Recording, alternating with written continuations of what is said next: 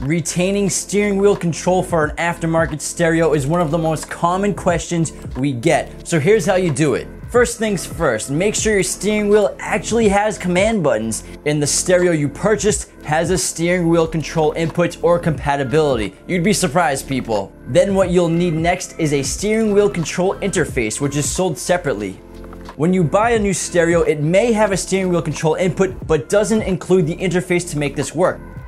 The new stereo comes with a typical wiring harness for power, ground, speakers, illumination, dimmer, etc. But in order to get steering wheel control transferred, you need an interface. And Axxess is the king of interfaces, and their most commonly used interface is the Axxess ASWC1, which works with a very large majority of vehicles and aftermarket stereos. The ASWC1 comes with an interface box, 12 pin harness with 3.5 millimeter connector, and a female 3.5mm connector. The interface is universal so it has multiple inputs and capabilities. For this reason, the harness contains a 12 pin harness, but the majority of you will only use just a few wires on it, based on the specificity of your vehicle. We'll talk more about that later on. Most aftermarket stereos have a 3.5 millimeter jack for steering wheel control. So that connection with the interface is straightforward. You would plug the 3.5mm connector into the jack of the back of your new stereo.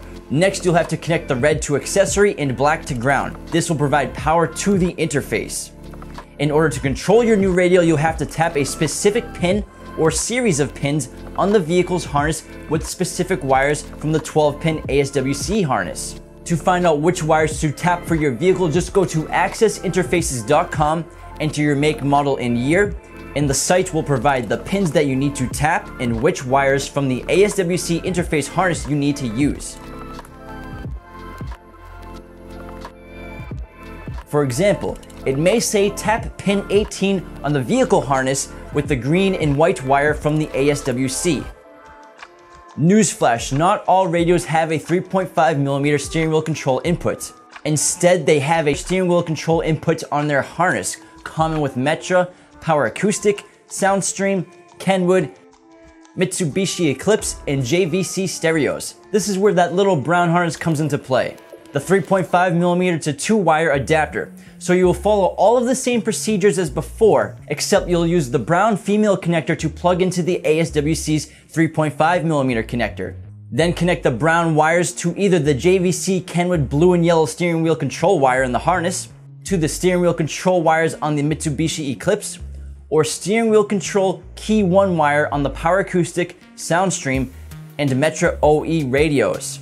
Instructions for all of these scenarios and more are on axxessinterfaces.com. Once wired up, the ASWC1 will auto-detect with three possible required actions. Turn the ignition key and no action is required. Turn the ignition key and press and hold up the volume button on the steering wheel, or turn the ignition key and then tap the volume up repeatedly on the steering wheel. Again, all of these instructions are vehicle dependent and radio dependent, and axxessinterfaces.com covers all these scenarios for your vehicle. Axxess has made life even easier for some vehicles. They offer pre-wired interface harnesses that are a simple plug and play and don't require tapping of any wires. For example, a 2015 Toyota Corolla has the optional AX Toy 28 SWC, which will use the interface box from the ASWC1, and the new harness replaces the 12 pin harness that comes with the ASWC1. And to retain steering wheel control, you aren't limited to just the Axxess ASWC1 controller. PAC Audio has the SWI-RC, and iDatalink Maestro offers the ADS MSW Universal Interface. These interfaces are very similar to the ASWC1 and are great alternatives. You can jump on either of these two manufacturers' websites to check the compatibility with your vehicle and radio. You will utilize similar wiring procedures, but in the case of the iDatalink ADS MSW, you have to connect the interface to your computer with the included USB and program it for your specific vehicle. The PAC Audio SWIRC is a self-programming device that recognizes your radio and vehicle after setting the side-mounted rotary switch. Both manufacturers provide excellent vehicle-specific installation guides and tips on their websites.